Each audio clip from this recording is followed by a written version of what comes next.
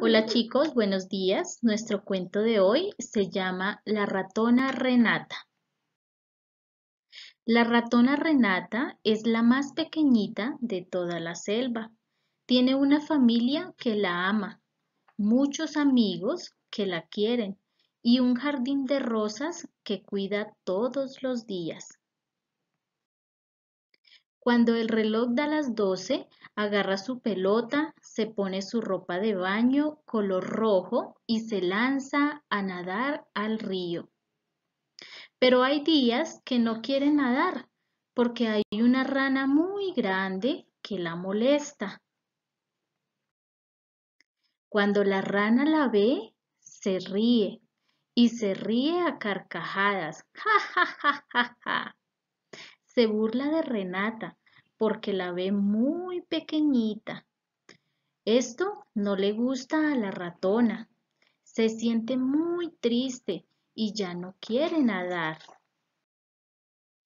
Cansada de esta situación, salió a buscar a un animal grande y fuerte para que la ayude. Cerca a un roble encontró a un rinoceronte y se acercó con cuidado.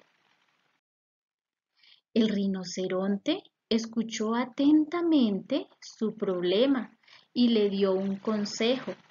Cuando alguien te moleste, dile con mucha fuerza, no me gusta. Así sabrá que lo que hace no está bien.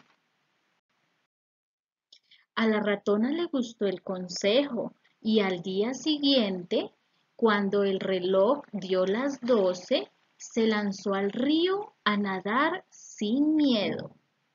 Cuando la rana la vio, no demoró en molestarla otra vez.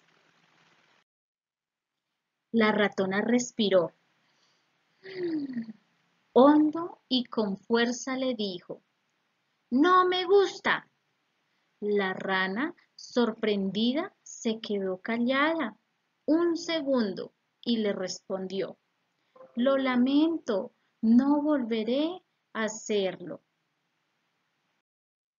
La ratona por fuera seguía siendo muy pequeñita, pero por dentro se hizo más grande y fuerte, tan grande que unos años después se convirtió en la reina de toda la selva.